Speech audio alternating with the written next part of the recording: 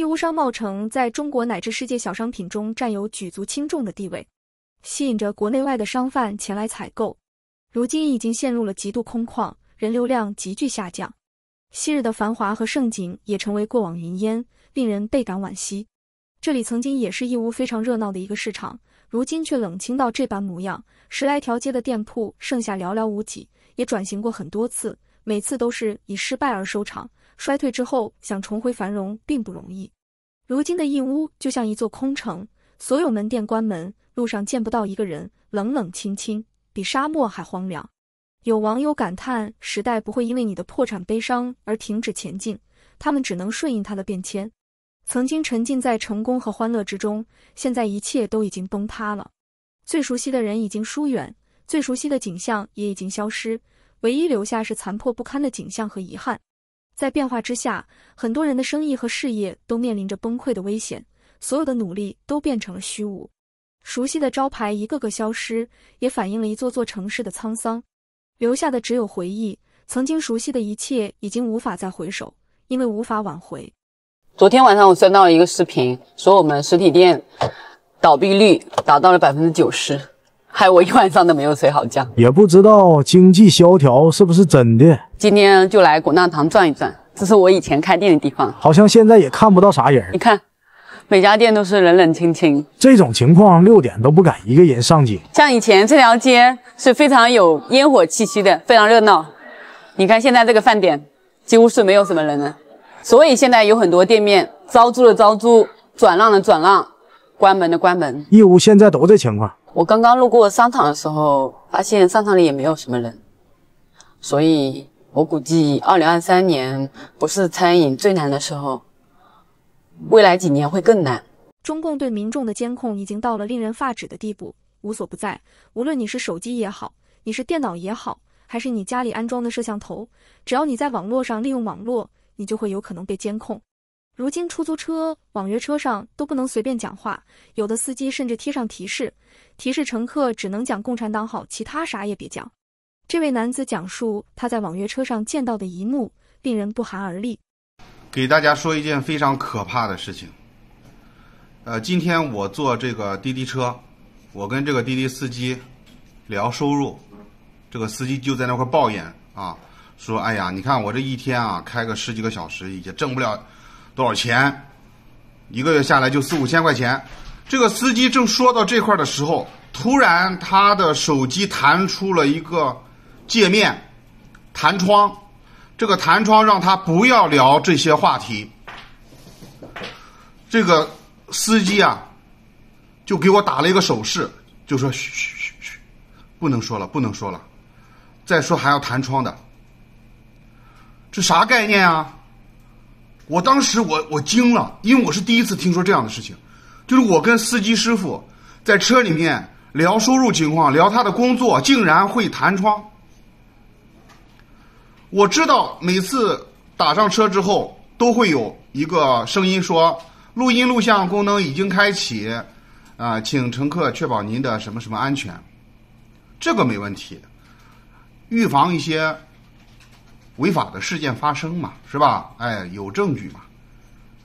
但是，你不能说我们俩谈话的过程中你弹窗出来，这是干嘛？这叫这叫对对什么的侵犯？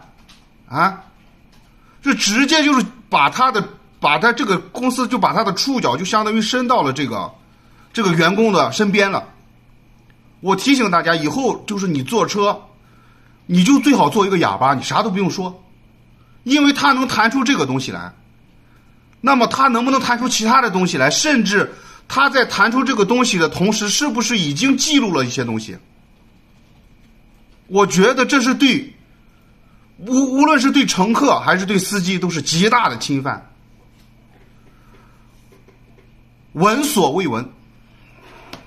更离谱的是，政府食堂饭菜成为国家机密，曝光者被捕。网络热传的一段视频，这位敢言男子针对曝光者被捕一事非常愤慨。他说，互联网上爆出上海黄浦区政府机关食堂饭菜价格表的人士，因被涉嫌泄露国家机密而被捕。有意思的就在于，公务人员吃什么饭菜是什么价格，竟然成了国家机密。实在是化天下之大忌。如果连公务人员在政府机关食堂吃的饭菜价格都成了国家机密，敢问公务员还有什么不是机密？将来会不会弄到他们连开什么车、穿什么衣服、喝什么饮料，别人都不能议论？会不会连他们的一举一动，包括拉屎撒尿，都成了国家机密？好可怕呀！将他们在单位吃的饭菜价格表广而告之，就成了违法犯罪。这是亘古未闻的天下奇闻。政府机关的每一分钱，难道不是纳税人供给的吗？既然是纳税人供给，为何纳税人没有知情权？政府机关饭菜价格就成了国家机密，你依据何在？还是来看看黄浦区政府机关食堂的饭菜价格吧，何等的优惠！宫保鸡丁三元一份，腊肉米三元，咸菜肉米一块五，双菇肉片两块，卤蛋七毛，面馄饨小馄饨一块二。面条三毛，等等等等，合着你们这是关起门来吃大锅饭？这只是黄浦区一个食堂，全国各地这只是冰山一角。如今经济低迷不景气，年轻人压力大，不愿意生孩子，就业压力大，一屁股外债，百分之八十的人平均负债十四万。你们工资这么好，待遇这么高，背着老百姓吃你的大锅饭，吃得下去吗？真的是一帮好领导。能不能在大街上多开几家这种食堂？我们全家一天三顿都去吃。如果大街上有了这种食堂，我们就有钱买房买车旅游，找小三消费，世世代代跟你们走。深圳目前的现状，我跟大家说完之后，真的肯定会吓一大跳的。口罩时代虽说已经过去了吧，但据说今年有几百万的人陆续涌到了深圳。你现在这个深圳地铁真的挤得非常厉害，人才市场真的被人家求职者挤爆了。很多人啊误以为这就是繁荣，但是实际上现在基本都是大厂裁员、小公司倒闭、房子租不出去，而且呢宾馆里会住着很多找不到工作的人。说真的，二零二三年的深圳现在已经不是前几年。的深圳了，经济高速发展期那会儿，你从这个五六千的小助理，几年跳槽一万多，其实很容易的。但是现在时代变了，今非昔比了。据我了解到，现在大多数的公司基本都是在裁员啊，不敢扩张啊。曾经你想拼一拼拿高薪的这种光景，真的已经没有了。你现在连滴滴司机呀、跑外卖的这个小哥都不好做，真正的新房也卖不动，二手房市场也不容乐观。因为啥？因为人家真正的有钱人。都把这个钱存在这个银行，人家不消费了，而真正想消费人现在又没钱。现在市场的内卷情况真的，我觉得太严重了啊！就像我这个同事的亲戚在深圳承包大楼，改造为这个写字楼出租，地点位置也非常优越，在这个南联的地铁站旁边。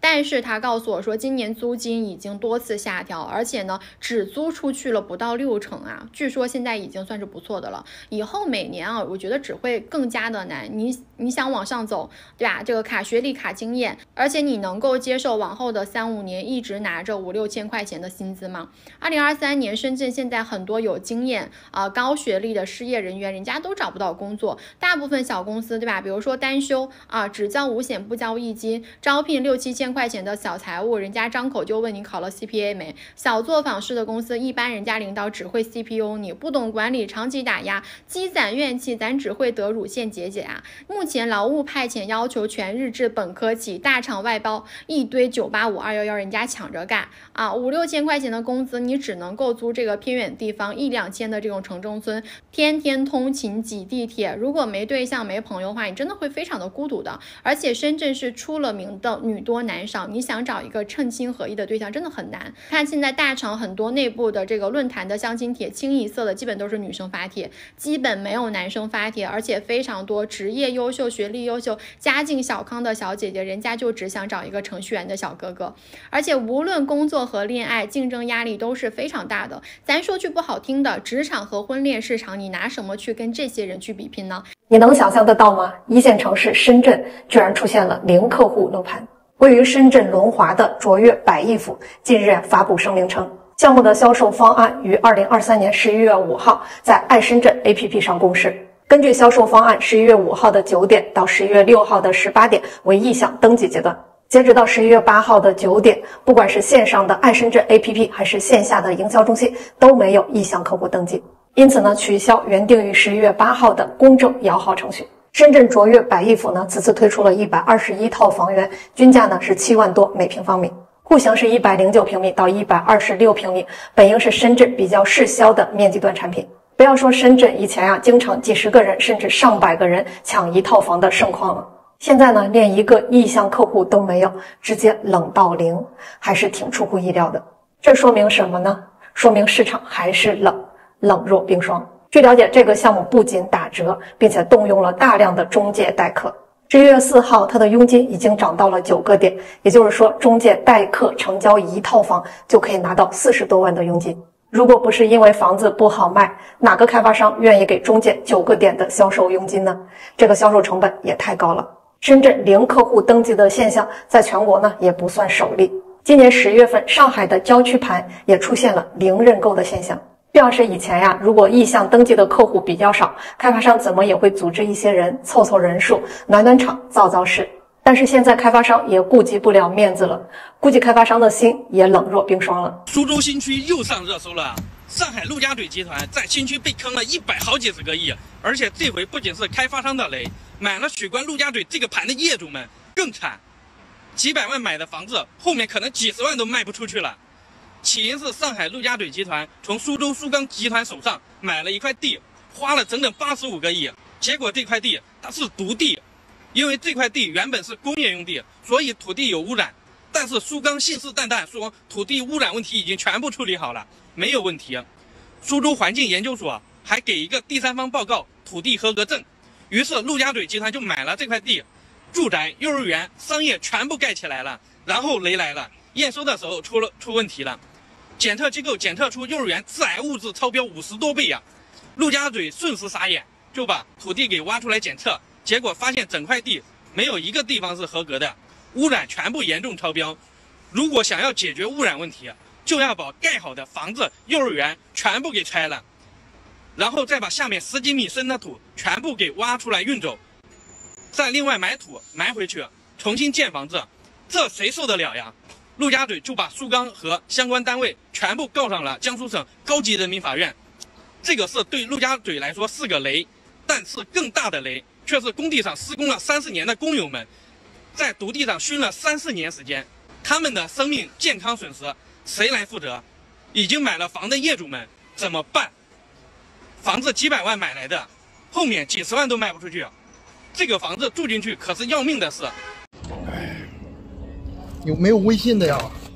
哎呀，我的妈呀！还是你专业呀？谢谢谢谢。嗯。大陆经济萧条，失业者遍地开花，有民众以乞讨为生。视频显示一名老年男子手拿一个二维码乞讨，不少网友调侃乞讨专业化，乞讨都非常跟随潮流。谢谢谢谢哈。八块八毛八啊！谢谢谢谢。祝你一路发。好好好好好，谢谢谢谢谢谢，再见，goodbye，再见再见再见，欢迎下次光临。好好。癌症是前天确诊的，群聊是昨天被导师踢掉的，实验室是今天拆的，消防检查是早已安排好的。都说读书改变命运，读医还真改变了命运。实验室负责人的信息摘除了，但是患癌同学的肿瘤却没办法摘除干净。网友爆料，中山二院某教授的学生集体患上罕见性癌症。随后，该院发布辟谣称，乳腺肿瘤中心过去十几年培养的二百多名学生里，只有三人一起在今年确诊癌症。虽然三位年纪轻轻的博士生命就此进入倒计时，但中山二院还有五十四岁的壮年院士，四十岁的年轻杰青和高中就发三篇赛的天才儿子，继续垄断广东肿瘤学界。